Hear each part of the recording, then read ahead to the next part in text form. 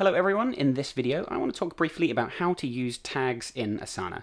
Tags is a nice little feature, uh, generally get a lot of questions about tags, when to use them, what are they best used for, so I want to explain that today. If you have any questions about uh, anything to do with tags or anything to do with Asana in fact, please feel free to leave me a comment below this video, and if you need more one-on-one -on -one support with Asana, feel free to reach out to me and uh, we can talk about uh, one-on-one -on -one consulting options as well. So let's get into this video. First of all, let's talk about what are tags. At a very basic level, tags are basically a way of grouping tasks together. You could either group tasks from within one project together, so you're kind of segmenting tasks uh, in, in, into a tag. The other uh, scenario might be where you're grouping tasks from different projects in one place. So let me give you a couple of examples of that. So here we are, we're in my content calendar. This is the project I use for planning what content I'm going to be publishing.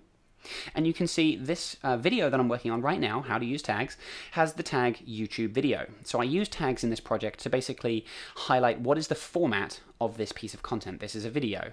Down here, I have another piece of content which is a blog post and it's a podcast. And this is a unique feature of tags, is that you can apply more than one tag to any given task.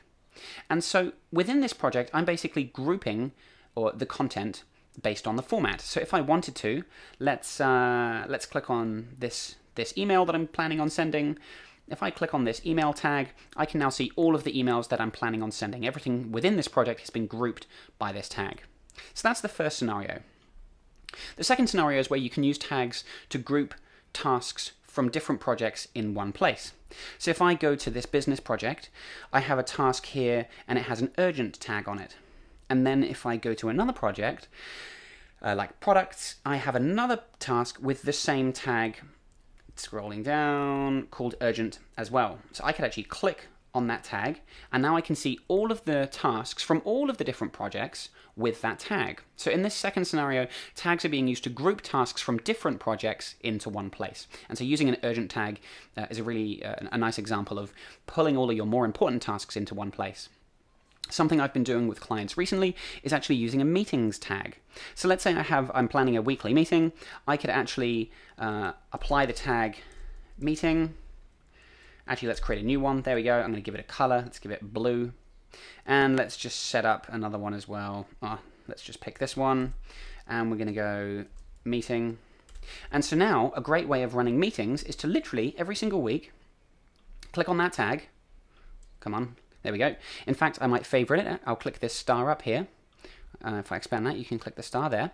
It, it, adds it to my favorites on the left, and every week I can click on that favorite, and I can view everything tagged with meeting. And then for the meeting, we just discuss the tasks that I've tagged. And then throughout the meeting, as we as we talk about them, you simply remove the tag after that item has been discussed to just kind of show that you know you're ready to move on to the next thing. So that's another nice another little example of tags in use. I'll show you something else that I'm doing in uh, Asana, which is I have uh, tags for the amount of time that I expect a task to take. So I've got 5, 15, 30 minutes, 1 hour, and 2 hours. And you can actually see I'm using a, a traffic light system to show on the left here how long I think tasks will take. And this is just something I do so that when I'm looking at my tasks here, I can kind of scan through. If I look at what I've got coming up tomorrow, I can see just based on the colors, like how many big versus small tasks I've got. If I see lots of red, I know I've got lots of big tasks to be working on. Um, whereas if I've got lots of green, I know that, okay, I'm doing lots of little um, quick tasks. So next week, next uh, end of next week, I've got a lot of hour, hour long calls and things like that. And again, it's nice to just be able to click on that tag and view all of my calls in one place as well. Okay, now let me go back to my content project. I finally want to just discuss briefly tags versus custom fields. Because if you're a premium user, you've got the ability to use custom fields to basically track tasks in different ways. So in my content calendar, I have a status field for basically showing the status of the post. Another example might be to have a field called priority, where you have high, medium, and low priorities. Now, you would generally use a custom field when you only want to make one choice at a time. So for statuses and priorities, you only want to select one priority at a time. If you had a priority tags and you tagged something with medium and you wanted to actually change it to a high priority item, you technically have to remove the medium tag and then apply the high priority one to, for, for the for the task to make sense. So it makes sense for priorities and statuses and things like that to just use a drop down menu where you can really only pick one um, option at a time.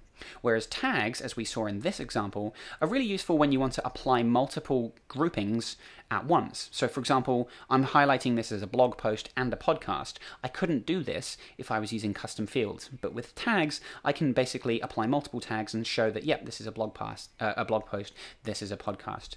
So um, it's it worth it's worth uh, kind of thinking and, and just maybe even experimenting a little bit with tags versus custom fields. Certain depending on how you're tracking the tasks, will you'll generally find you'll you'll lean one way or the other based on kind of what what it is that you're tracking. So there you are, that is a brief introduction to tags. Thanks for watching this video, and I'll see you in the next video.